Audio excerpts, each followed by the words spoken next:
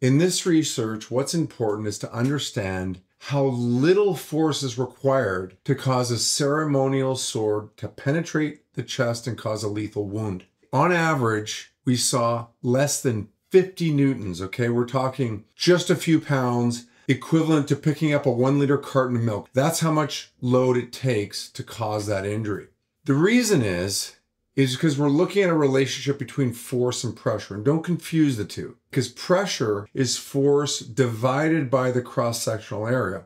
And we all know that the point of a ceremonial sword is very, very sharp, has a very low cross sectional area, allowing that sword to penetrate the chest. And this is not like any other type of wound. In order to cause this lethality, it has to be precise, okay, over the heart, for example, which is why I see some people getting stabbed 30 times and others getting stabbed once. But it's also important to understand it's not like a gunshot at all. In the case of a gunshot wound, it's moving so fast that there is a very large pressure differential now inside the body that causes what we call a temporary cavity, okay, which involves a lot of surrounding tissue, stretching it, deforming it in order to cause a much larger injury for a single wound path. And that's why guns are more effective than blades.